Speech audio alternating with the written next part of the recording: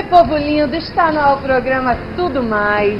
Eu estou hoje no lugar que eu amo, no shopping, gente, aqui do Rio de Janeiro, aqui do Recreio dos Bandeirantes. Eu vou entrevistar uma pessoa que com certeza vocês conhecem. Já está aí há muito tempo fazendo essa obra de Deus. Um cara bacana, um cara de Deus, cheio da unção do Senhor. Quem é ele, gente? Alex Gonzaga! Ah, tudo tudo bem? bem? Prazer. Tá com você, tá com a galera de casa aqui, que bom. Prazer todo meu. Você gostou do lugar que a gente trouxe aqui no shopping do Recreio dos Bandeirantes? Eu tô sempre passando por aqui. Né? Você gosta? Moro aqui no Recreio, sou morador do Recreio há quase 20 anos, então vi todas essas construções de todos os shoppings começando e hoje frequento aqui com o maior prazer. Que bacana. Alex Gonzaga, curte uma praia?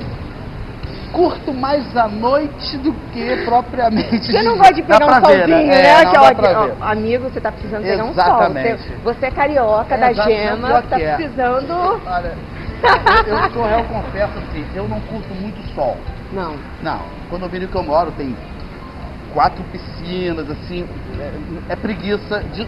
Não é nem preguiça de ir pra piscina, eu gosto de ir pra piscina pra nadar, pra bater papo, mas ficar lá. No sol, no sol você não curte. É mais pra minha galera. Você gosta mais de relaxar vendo, É, mas morei, uma do- eu morei aqui em três endereços. Um endereço era na segunda quadra da praia, da minha varanda eu via a praia. Então, mas a minha mulher sempre aproveitou muito mais do que eu. Eu ia pra correr à noite e tal, tomando banho de lua, como o pessoal fala. Você é carioca, Carioca. morou sempre aqui no Rio de Janeiro, nunca Sempre morou fora? nasci, Não, sempre, sempre nasci em Bangu, como eu disse, eu só morei em dois bairros aqui, na zona oeste do Rio. Eu sou nascido e criado em Bangu, né? E com há mais, foi mais ou menos 20 anos atrás, a gente veio e se mudou para o Recreio. Tivemos o primeiro endereço, um segundo endereço. O primeiro endereço foi, eu vim até morar de aluguel, porque eu queria conhecer o bairro e verificar se a minha esposa se adaptaria, já que a gente não tinha parente na época. Depois todo mundo veio, acabou, acabou vindo para cá, para Barra Recreio. Mas no segundo endereço já foi um endereço próprio meu e agora eu estou morando assim num lugar ótimo que eu sempre pedi a Deus porque é perto também. A praia é muito gostosa, mas ele é muito isolado. Eu tenho três filhos adolescentes Ai, que não precisavam de transporte. Então hoje eu moro num lugar legal que tem um transporte para tudo quanto é lugar na frente da minha casa. Que bacana, nós amamos o Rio de Janeiro. Maravilhoso, cidade maravilhosa. Você nasceu num lar evangélico ou não? Não, na realidade eu cresci com os meus pais me levando para a igreja eu, quando eu tinha meus 6 para 7 anos. Meus pais não eram cristãos, Se converteram se converteram era na igreja criança. e aí eu fui lá para a primeira igreja batista em Padre Miguel, igreja que eu amo. Hoje eu sou membro da FIB aqui do Recreio, sou, continuo sendo da da denominação, mas é uma igreja que é a minha primeira igreja, né? E Eu por sei. uma grande coincidência ou não, Deus me proporcionar cas- casar com a mulher mais bonita da igreja, que era filha do meu pastor. Olha que bênção! Já Deus deu, deu a sabedoria É, pra ali dar um, um papo na filha do pastor. Gostei, gostei. Músico, cantado. Música! Gostei. Falando em família, já que você já citou várias vezes a sua esposa, né? Seus filhos, você é casado há quanto tempo? Eu fiz agora 21 anos de casado. Entre Nossa. casamentos, Mas com essa namoro- carinha de 21 anos, É, gente. é que eu, eu namoro ela desde que eu nasci. No, no berço, na maternidade, a gente se encontrou. É, na realidade, a gente, entre namoro, noivado e casamento, né? A, assim, a gente tem quase 30 anos de vida juntos. É, porque eu, entre namoro e noivado foram 7 para 8 anos e tal. E casamento 21, quer dizer, quase chegando aos 30 anos juntos. É muito tempo, né? É, mas é muito legal. Eu tenho meu filho mais velho. Agora, todos meus filhos são de dezembro. Eu tenho três filhos, né? É, um mais velho e um casal de gêmeos. Menino. Menino e menina. Olha que bacana. A gente tá passando as fotos aí É, dos seus filhos. com certeza. Nossa, é muito bacana. Gêmeos, né?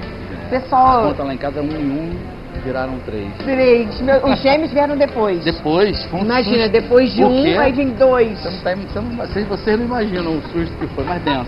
Eu falo pra Deus que eu não tenho psicológico pra gêmeos, porque é uma. Eu tive uma prima recentemente que ela teve gêmeos. É. Tipo, a partir do sétimo mês você já não consegue mais dormir, né? Assim, É, direito. né? Começa Já tem que dormir daí sentado. posições específicas, porque começa a pressionar muito o pulmão, questão de respiração. Mas graças a Deus, a, a- a- as duas, essas duas gravidezes que a minha esposa teve, tanto na primeira gravidez quanto na segunda, foram bem tranquilas. Principalmente se- se- colocando de gêmeos, que é uma gravidez mais complicada. Mas foi muito tranquila, ela passou bem, eh, os, os procedimentos foram sempre assim muito legais, não teve aquela coisa de ter que nascer prematuramente, nada disso. Que bom, correu tudo certo. Tudo bem. Só que é muita responsabilidade, né? Você vê, a gente mal tinha casado, meu primeiro filho veio com dois anos de casamento.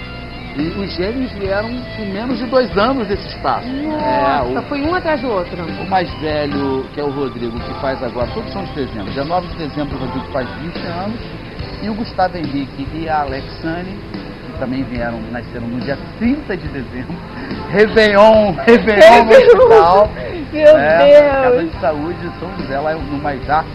Tipo assim, é, vieram um, um período de dois anos depois. Então, é tipo assim, muito próximo. Uma escadinha. É bom que já cresceu todo mundo junto, Cessou, já, acabou. né? Vai pra escola, vai todo Benção. mundo junto, uma fralda, troca tudo junto. Mas foi legal, foi legal. Assim, a família é uma coisa muito legal e a minha esposa, junto com eles também, entendem muito, porque o trabalho que a gente faz, o ministério que a gente tem é, é, é de, mu- é de, de muito tempo ocupado, né? Você não tem tanto tempo para ficar em casa com a família.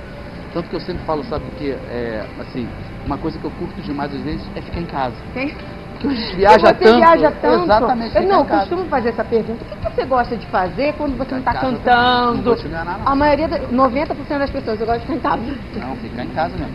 Lógico que há uma cobrança, a gente entende também, mas os nossos finais de semana no- nos shoppings da vida são o quê? Segunda e terça, né?